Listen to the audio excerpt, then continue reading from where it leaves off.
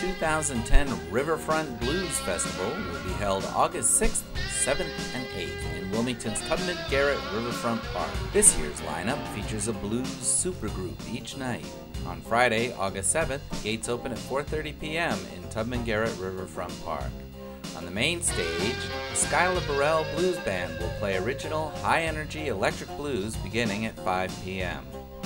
At 6:45, Bernard Allison continues the family blues business started by his father, Luther Allison. The Delta Groove Harp Blast takes the stage at 8:30, featuring Al Blake, Randy Chortkoff, Mitch Kashmar, Jimi Bott, Willie Campbell, Frank Goldwasser, and Kirk Fletcher. On the bandwagon stage, Dr. Harmonica and Rocket 88 and Randy Lippincott will keep things going between the main stage sets.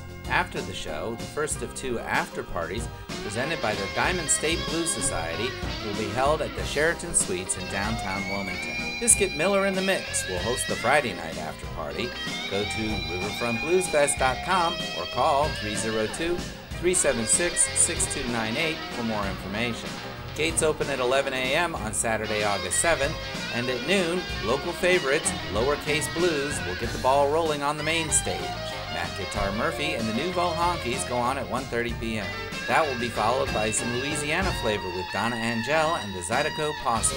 Saturday's full lineup for the bandwagon stage includes Nate Meyer and the Aces, Gary Allegretto, Midnight Shift, Gretchen Emery and Dirty Boots, and Scoville Blue. Back on the main stage at 5, it's Rod Piazza and the Mighty Flyers. Shaun Murphy, formerly of Little Feat, goes on at 6.45, and at 8.30, it's the perfect age of rock and roll blues band featuring Pinetop Perkins, Bob Margolin, Hubert Sumlin, Willie Big Eyes Smith, Mojo Buford, and Bob Stroger. Michael Hill's Blues Mob will host the after party at the Sheraton Suites following the show. Look for some special guests to jam with the band. The gates open at 11:30 a.m. on Sunday, August 8th. Mike Zito serves up his special blend of rock, blues, and funk on the main stage at 12:30. John Lee Hooker Jr. might look a little like his late legendary father, but he's got a gritty style all his own. He'll be on the main stage at 2:30. The final Blues Festival supergroup goes on stage at 4:30. The legendary Rhythm and Blues Revue features the Tommy Castro Band, Magic Dick of the J. Geils Band, Deanna Bogart, and Joe Louis Walker.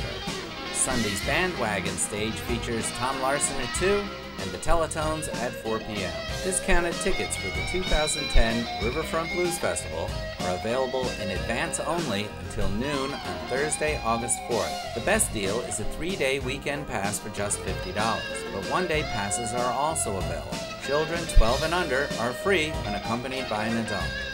Advance tickets can be purchased online at www.riverfrontbluesfest.com. Mail orders are also available.